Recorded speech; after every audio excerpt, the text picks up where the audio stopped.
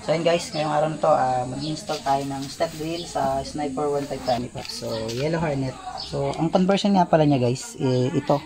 Kasi, kung gusto niyo maikabit to ng mabilisan na hindi na kayo magbabaklas ng pairings, tatabasin niyo dito. So, yun, tatabasin natin. Kasi pag uh, ikakabit nyo talaga ng mano-mano tulad ng sa Sniper 150, magbabaklas pa kayo ng maraming pairings. So, ito yung uh, isang mabisang paraan para na-install natin siya ng maayos na hindi na tayo magbabaklas ng pairings.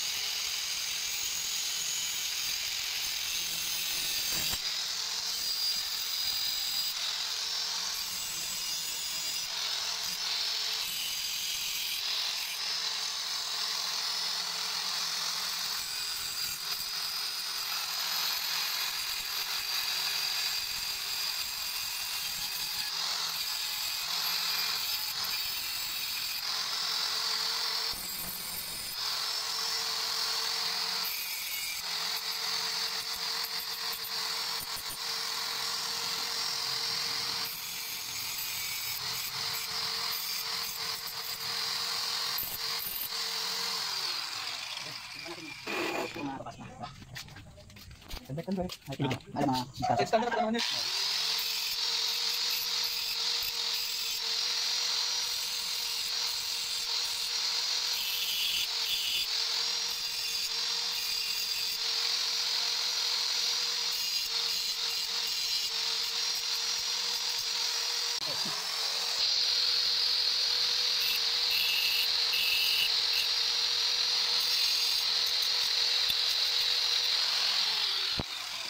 yun, itatabasin nyo lang tapos ipapasok nyo to.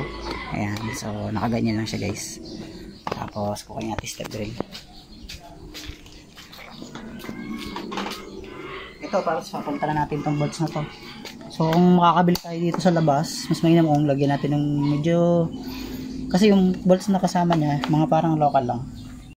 Pag install nito, kailangan nyo ng uh, Philip at saka 10mm na T-rings o kaya 10mm na open. So, may kasama siyang rubber. So, kailangan kabit natin din yung rubber pag ilalagay natin to. Dito sa paglalagay nito, dandala kasi kasi baka magasgas natin. Plug and play. So, plug and play nga. Medyo tukod ng konti. Pero okay naman. So, yun. Lagay nyo muna yung rubber. Tapos, lagay nyo na to. Okay. So, sa 155 first time natin mag-install nito. Kaya medyo nangangapa tayo. Pero sa susunod, hindi tayo mahirapan yan guys. Basic na sa atin yan. So, ingatan nyo lang magasgas. Kasi, hirap na. Bago yung unit. Tapos mababangasan lang.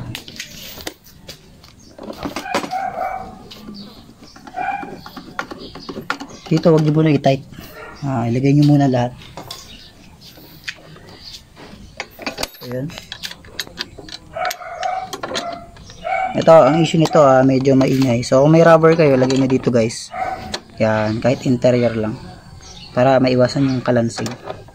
Yan ito, pwedeng pang ipit ng mga papers. Kung may mga daladala kayo. So, pag mayroon kayo nito, ano, sabi nila patungan daw ng bigas eh. so, may papatungan na si Pops ng bigas. So, ito yung medyo mahirap dito ilagay. 10 volts. Siguro para sa akin lang, no? Uh, mas maganda kung palitan nyo siya ng stainless. Alright, so mayroon tayong parating. Naririnig natin. Yo. Si Jeffrey. So, yun guys, oh, tumating ang kapare natin. Kovin Dilan. Oh, ano, bibenta na natin yan, no? Kita mo naman, no? Dalawa na bibili dito.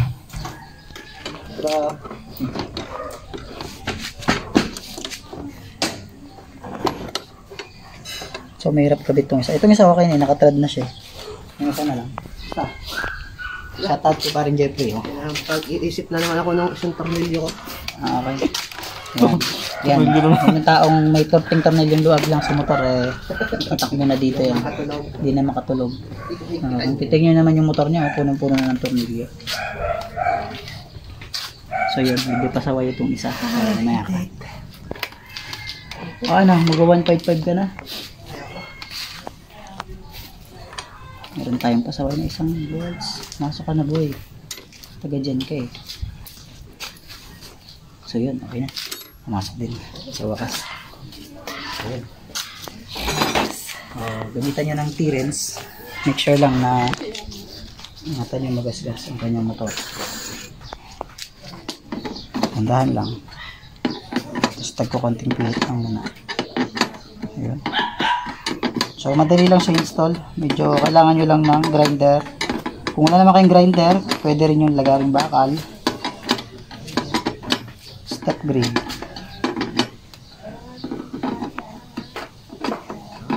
Then,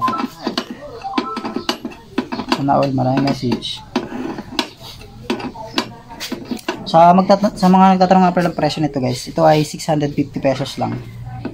So, akala ko 700. So, ngayon mga bumalik ako doon. Yun yung talagang tunay na presyo niya. So, sa online, mas mura. Yun nga lang, hindi maghihintay pa kayo. May shipping. So, pag dito naman sa akin, on time na meron, yun nga lang, medyo may presyo. Siyempre, natural na yan.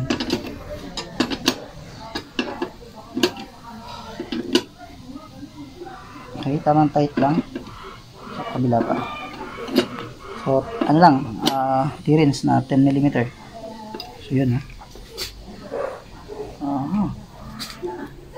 Medyo tukod siya. Kung makikita nyo sa pairings.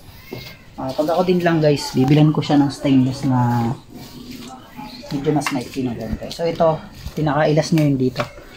Yung pinakang sa pilip niya. Yun, ito yung pinaka last tight.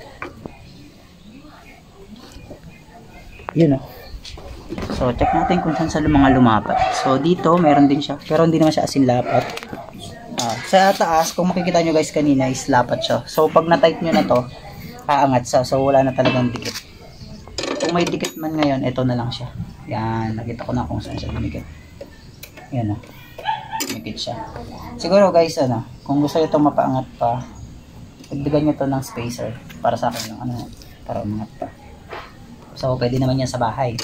Uh, luluwagan nyo lang siya ng pilip, tapos dagdagan nyo yung spacer. So, kung maghanap kayo ng mas mahabang ganito, para malagyan ng spacer, bili kayo ng mga ganito, mga gold bolts na 8, marami yan sa matatag. So, yun guys, sobrang dali lang install nito. Kailangan nyo lang talaga ng pantabas. Yun, no? Pwede na paps lagay ng mga biniling manok, bigas. Pwede na 25 kilos na ano. Tsaka kung may bata kayo, uh, umuupo dito, siguro lagyan nyo lang sa petas.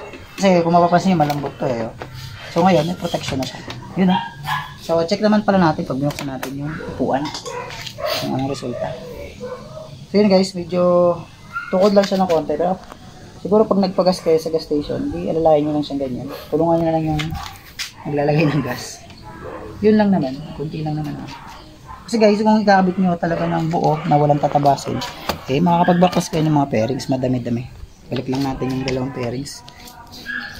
Okay, dalawang bolts. Yun o, oh, tapos na. Baswan, baswan. Bakto, uwi mo lang ko, no? So, yun yung pinakang hindi natin naikabit kasi pinalta na natin. So, yun, ganun lang kadali. Tapos na agad. Meron yan guys sa Shopee. Uh, sa akin, meron din kung gusto nyo sa matatag performance, makakabili din kayo yan. Uh, may stainless tayo, mas mahal. Nasa, alam ko, naglalaro yung presyo na nasa 900 so medyo mura-mura tong bakal.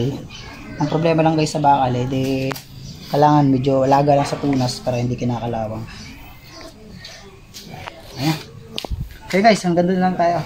Uh, abangan nyo yung mga susunod nating videos. Salamat.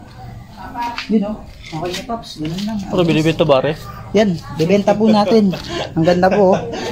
Porcel mo na ano Pwede ko yung CR na pala to. Yan po. Uh, ito po yung isa kong alaga na motor sa kumpare ko. Medyo matagal-tagal na rin to. So, ito ay 2016 model. Yan, ako, ako rin nag-maintenance nito. So, kung mapapansin nyo guys. So, parang punong-puno na siya ng mga bolts, no? So, talagang ginastusan na niya. Ganda, oh. Grabe oh. So, well, ito naman na order namin sa Malaysia. Ah, sa Vietnam namin nakuha to. So, in-order namin to ng almost one month bago dumating. So, next project niya daw is ito. So ka nagko nang go. Papalitan daw ng ah, B2 headlight. Yun ang sabi niya sa akin. So, yung radiator ko guys, ayan no, nilipat ko dito. Sayang nga eh, kung hindi ko siya binenta, maaaring isalpa ko siya doon sa akin Sniper 155. Sayang. Sir, ito yung kailangan natin sa totoo lang. So napansin ko sa motor natin. Ito, magpapalit tayo ng mas malaking.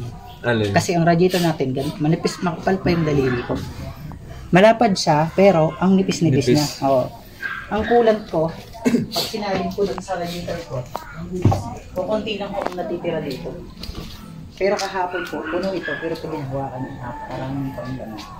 So, ibig sabihin, yung isang puno dyan, kaya maglagay sa tatlong sniper 155. Oo. Samantalang, dun sa stock, kaya niya lang is dalawa. Dalawa lang. Ito naman, kukunti na natitira doon. Kasi yun, upgrade na po ito eh. Bali, pinaltan ko na siya ng MBR1. Sa akin ho galing. Ayan. Oo, ang laki po talaga yan. Halos 1 liter po yung laman yan. So yung nakapagpalit ka na rin sa'yo, hindi pa? Hindi pa po. Bali, ito po yung next plan ko talaga. Papalitan ko siya. So, abang-abang lang tayo. Oo. So, iniisip ko po kasi yung mga host. Sige, mag-vlog ko pa naman mag-vlog para at least makigaya na lang kami. Ano? Ayan, papatungan lang naman nila ano. Ito nga po, ang gusto lang sa inyo Importante is... din, Pa rin, side pa rin. So, ganyan, klase na po.